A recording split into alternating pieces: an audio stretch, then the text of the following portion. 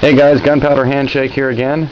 We're going to be talking a little bit about the 1911 mil spec by Springfield Armory. I'm going to go over a few things real quickly with you on the firearm, uh, some how-tos on disassembly, um, also some pointers on uh, just general maintenance, field stripping, and cleaning the firearm.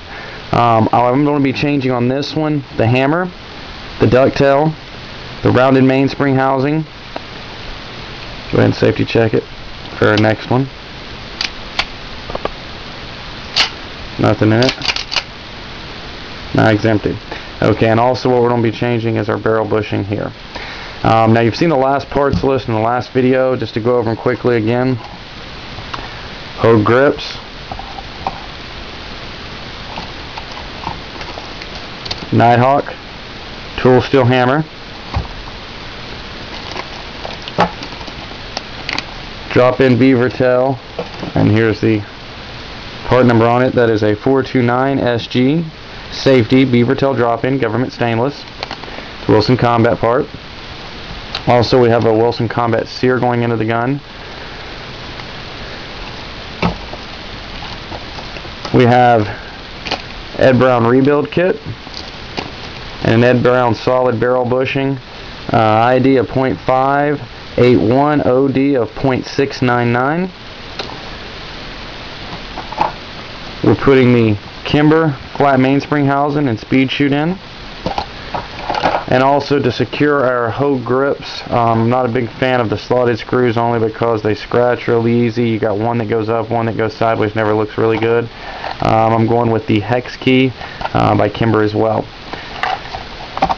And guys, the reason I didn't go uh, one thing by every brand name was um, mainly just for cost efficiency. The Kimber Speed Chute was $30 less than the Wilson Combat.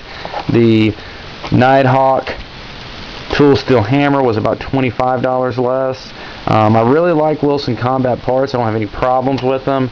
Um, the barrel bushing was a recommendation, um, but uh, I mainly did it just to save money. Two other real quick things on installing the Ed Brown barrel bushing. You're going to need a uh, barrel bushing wrench. Uh, they make them in the steel, and also Wilson Combat makes these that are the uh, barrel bushing wrenches that are the polymer. Um, this one is the blued steel here. Um, and this one is the polymer. I've got the case for it around. Um, don't have it on me at the moment, um, but you can see it's Wilson Combat. I would recommend this one um, only because using this you can already see a little bit of the scratching on the, the barrel bushing wrench. A couple of my friends have used it quite a bit. And the only thing is when you go to push it on, if you get it off just a little bit, you will scuff up the edges of the barrel bushing um, and maybe even your plunger here. So uh, I got it um, at first just because it was convenient um, but I've since replaced it with this and I, I, love this tool. It's great. It's hard and plastic. It doesn't break easy. Um, it comes with two different sizes standard 1911 and then uh, a little different one which is I believe the bull barrel model which is really nice. Um, so I do like that. It's about five dollars uh, pretty cheap. This one was about seven. Um, definitely this one was the better one. Alright guys. First thing we're going to do is go ahead and do the field strip of the gun First thing you need to do is take your firearm, safety check it, put your safety on. Now the mil spec is only the single safety, uh, like the GI. The loaded model has an ambidextrous. Um, the video I'm covering is mainly on the mil spec and the GI models. Both of them are almost identical, um, minus the flare port here. But if you have a GI model and you put all the modifications on it I'm about to show you, the only difference you're going to wind up is just on your um, slide here your your um, feed ramp is not ported and polished and then your slide doesn't have a lower cut on it like this one. Will be a little higher cut. Uh, both of those you can fix the feed ramp. Of course you can always you know go in and polish and sand down on it a little bit.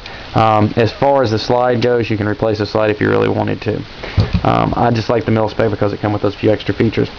Alright we went ahead and put the safety on the firearm so that the slide could not move. Now we're going to go ahead and take the barrel bushing loose now watch your spring guys because your cap will shoot off. And now what I'll show you again basically is here's the spring, there's the cap. Put this on, turn it clockwise, it comes off, catch the spring in your hand. Alright. Now what we're going to do, take the safety off.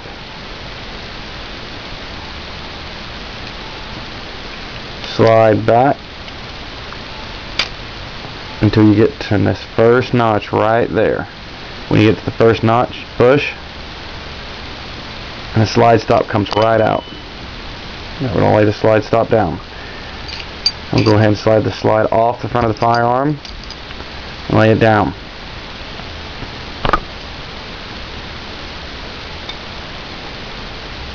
Okay. Now we have the frame left. What we're going to do with the frame is we're going to go ahead and move the grips.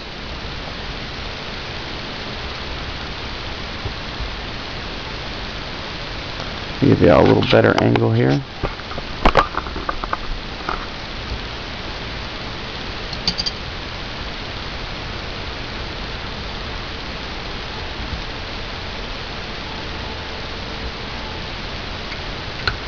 Now guys, if you have any questions, any different parts, any recommendations, anything like that, if you have, please ask. Um, I might not know every answer.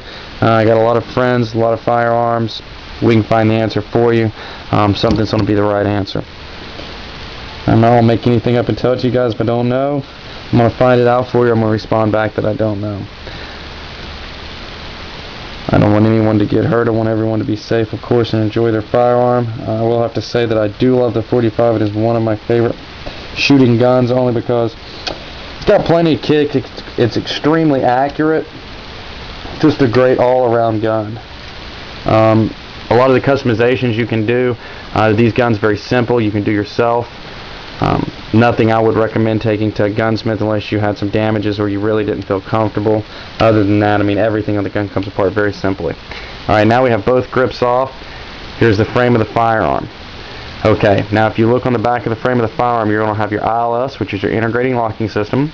We're not going to be using that. The next hole over is going to be for your mainspring. Now inside your bag of parts that come with your firearm, uh, comes this almost like a little boomerang looking uh, piece of steel.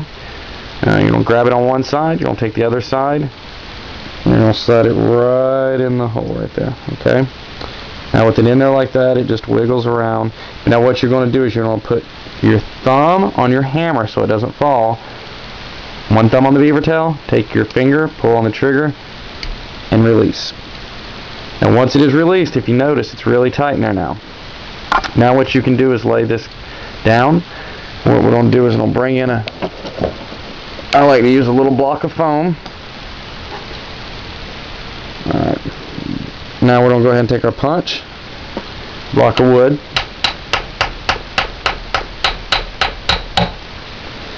And tap right through it.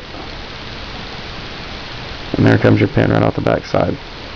And see with this punch, it actually goes all the way through. It's one of the reasons I recommended them, guys. Stanley makes them. They're pretty cheap, couple bucks.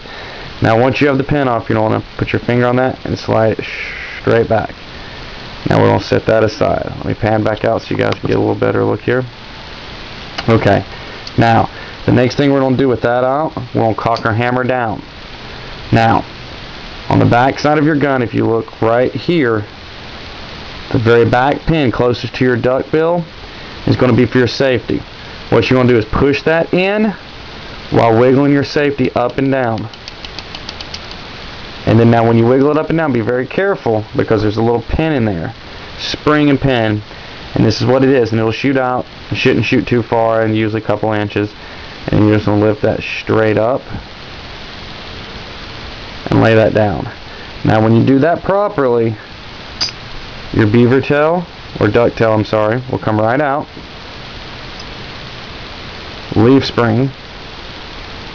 Okay and then your hammer. We'll go ahead and pull the pin on the hammer, lay it down, hammer comes right out the back. Last pin we got, bring in for this here. Last pin we got, right there, you just push in from the other side, lift straight up. Now on this one, be very careful, hold your gun flush, put your hand under it, and tap on the top of your gun. If you do, your sear should come out. Lay the sear down, and then your disconnect will come out. I'll show you how to put all that back together. Alright guys, this has been part two of the video here. We've taken the gun apart, you're left at the frame now. Now I did not replace my trigger because I like the way it looked. If you do, I'll show you that in part three. Well guys, it's Gunpowder Handshake. Signing off, check out part three. Thank you.